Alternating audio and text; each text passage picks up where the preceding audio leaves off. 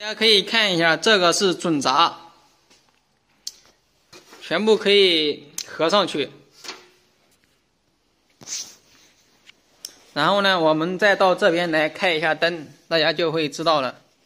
我们按第一个，然后捆灯全部都亮了，然后我们再按头一个，然后大灯也亮了，然后我们再按中间一个，看见没？一按就跳闸。它这呢是大灯亮。捆灯亮，那说明灯带上面有问题，灯带有问题，然后我们把它的准闸怼上去，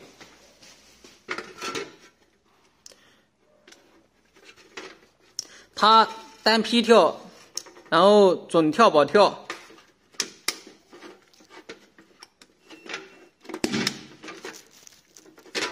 然后我们现在得把它。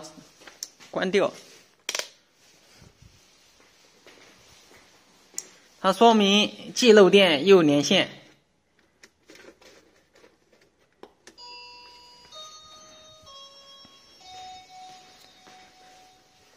然后我们把主灯开开，中间个不开，中间一个目测应该是灯带的，然后它顶上面看见没，全部漏水，说明灯带已经。坏掉了，然后有可能连线的，不仅连线，它还有可能漏电，所以说准闸和双单匹全部都跳。现在呢，我们就上去把它看一下。现在呢，这呢是它的灯带头，看见没？这地方全部花霉。我们呢，首先把它的灯带掐掉。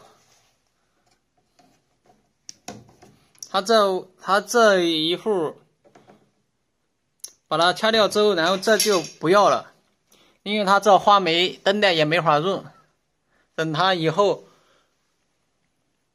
嗯，把上面漏水的地方治好，然后我们再把它灯带重新换掉。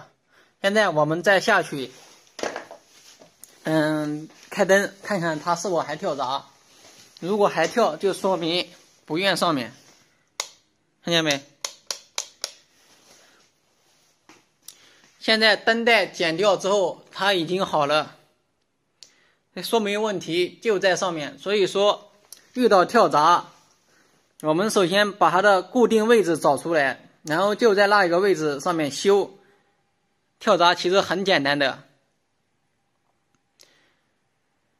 好了，今天的视频就分享到这里，谢谢大家的观看，我们下期再见。